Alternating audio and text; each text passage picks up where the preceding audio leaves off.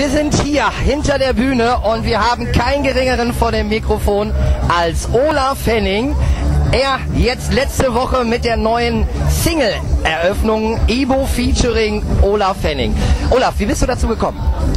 Ja, erstmal war das ja eine Album, ne, Release Party. Ich habe ja keine Single raus. Entschuldigung, Album, genau, genau, genau, hast ja recht. Äh, ja, du, ich habe einfach äh, zu meinem 15-jährigen Bühnenjubiläum und zu Ivo seinem 30-jährigen Bühnenjubiläum gedacht, da machen wir was Besonderes.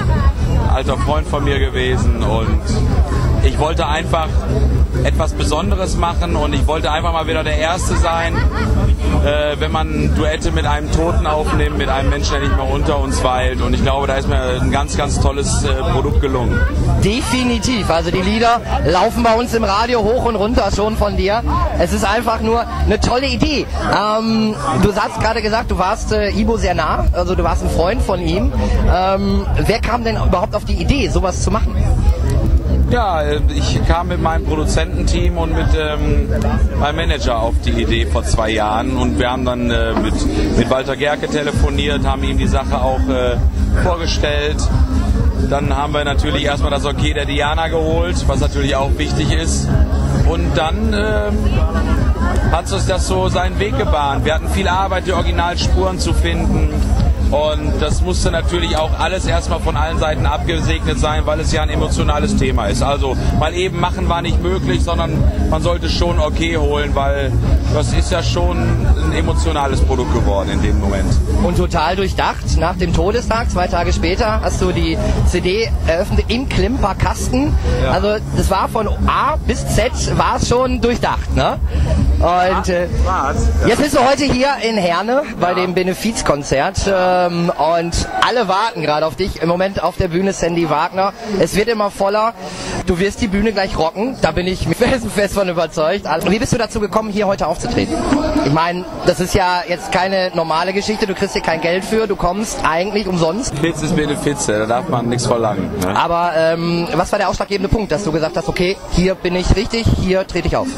Kann ich dir genau sagen. Ich war schon mal hier letztes Jahr, habe hier gesungen und äh, der Klaus, der Moderator, der Zoch, den kenne ich jetzt schon seit 20 Jahren. Ne? Und der hat mich dann auch angerufen oder das Management angerufen und sagte, ey Olaf, meinst du, du könntest hier?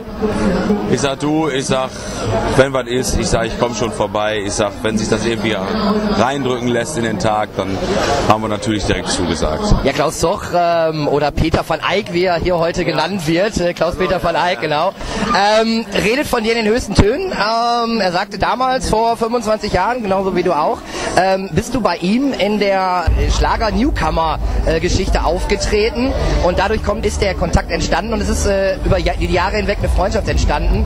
Ähm, ist es eigentlich in diesem Schlagergeschäft hart oder, oder, oder überhaupt äh, einfach, richtig gute Freunde zu finden? Ja, ich sage ja, gute Freunde, ne? Gute Freunde gibt es ja nicht viel im Leben. Aber ich sage immer, gute Kumpels gibt es mehrere.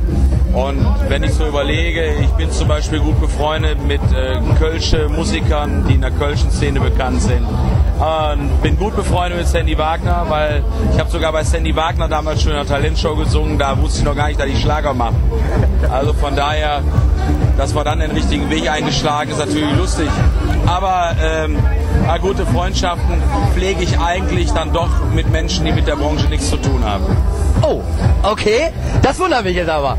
Olaf, die letzte Frage. Ähm, in der Presse wurdest du mit äh, Michael Wendler verglichen. Äh, der, was ist los in der Popschlagerszene? Du wurdest in den Himmel gelobt und er wurde mal eben so ein bisschen denunziert. Was sagst du dazu? Ja, alles richtig gemacht. ja, ich glaube, damit sage ich, äh, ist alles gesagt, mein Lieber. Ich danke dir fürs Interview. Gerne, gerne, gerne. Tschüss.